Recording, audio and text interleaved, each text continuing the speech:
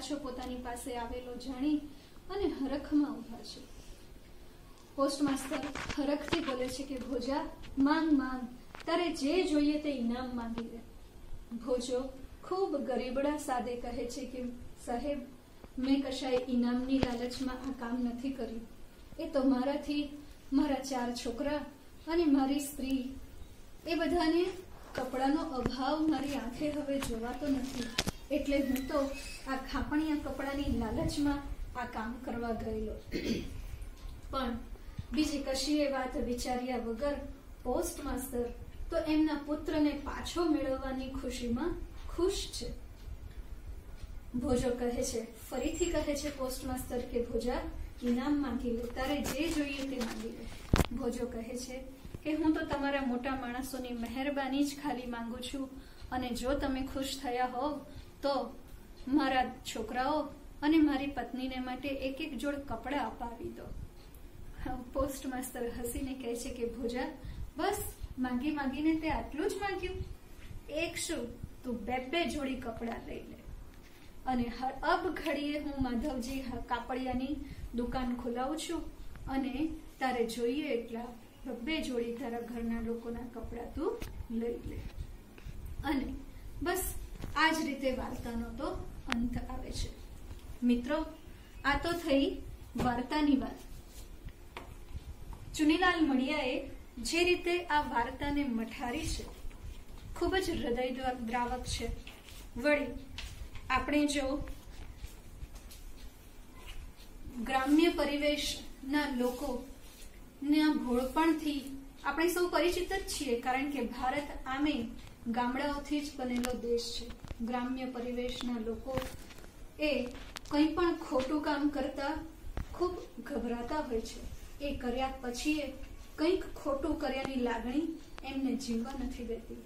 ભોજો એ એનું જ આપણને ઉદાહરણ પૂરું પાડે છે. વળી, આપણા દરેક લેસનની જેમ આપણે બે રીતે તૈયારી કરીએ છીએ. એક પરીક્ષાલક્ષી અને બીજી જીવનલક્ષી. પરીક્ષાલક્ષી તૈયારી વિશે જો હું તમને કહું, તો આ પાઠમાં એના જે સવિસ્તાર ઉત્તર છે, એટલા તમે કરી લેશો. એટલે પછી નાના સવાલ જવાબ એની અંદર આવી જ જશે. એટલી તૈયારી આપણે કરવાની છે. રૂઢિપ્રયોગ અને બીજા થોડાક શબ્દોના અર્થ, તળપદા શબ્દો, આ બધા જ આપણે આ પાઠમાં જોવાના રહેશે. આ થઈ આપણી આ પાઠની પરીક્ષાલક્ષી વાત. હવે આમાંથી કશુંક જીવનલક્ષી પણ શીખવાનું છે. આપણા દરેક લેશનની જેમ જીવનલક્ષી શીખવાની વાત એ આ પાઠમાંથી હું એટલી ચોક્કસ કહીશ કે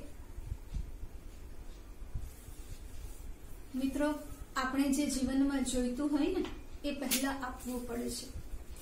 એ પહેલા આપવાની કોટીમાં પ્રેમ, માન ક્ષમા આ બધું જ આવી જતું હોય છે. આ બધી વસ્તુઓ એવી છે કે જેને પૈસાથી કમાઈ નથી શકાતી, પૈસાથી મેળવી નથી શકાતી. એને દરેકે પોતાની રીતે પોતે જ પોતાના માટે કમાવી પડતી હોય છે. મા બાપનું અઢળક બેંક બેલેન્સ એ તમને પ્રેમ, સન્માન, ક્ષમા એ નહીં અપાવી શકે. એને તમારે જાતે જ કમાવી પડે છે. અહીંયા પણ પોસ્ટ માસ્ટરની ક્ષમા. વળી પોતે જે કર્યું છે તે કૃત્યને સ્વીકારી લેવું. મારાથી આ ખોટું થઈ ગયું છે. મારાથી આ ખોટું કામ થઈ ગયું છે. એની જે સ્વીકારવાની વૃત્તિ છે, એ ભોજાની. આ બધી જ વસ્તુઓ મેળવીને આખરે વાર્તાનો અંત જેમ સુખદ આવે છે, એમ આપણે જીવનલક્ષી શીખ માટે વિચારીએ તો જે કાગળ, પેન વગરની પરીક્ષા માટેની તમારી તૈયારી છે, જીવન માટેની. બારમું ધોરણ એક વર્ષમાં પતી જશે. એ સિવાયની જે તૈયારી છે, એના માટે આ છે. ક્ષમા આપતા શીખીએ, પ્રેમ આપતા શીખીએ અને પોતાની ભૂલને કબૂલી લેતા શીખીએ, તો આપણે પણ જીવનમાં સફળ અને સુખદ જીવન પસાર કરી શકીએ છીએ.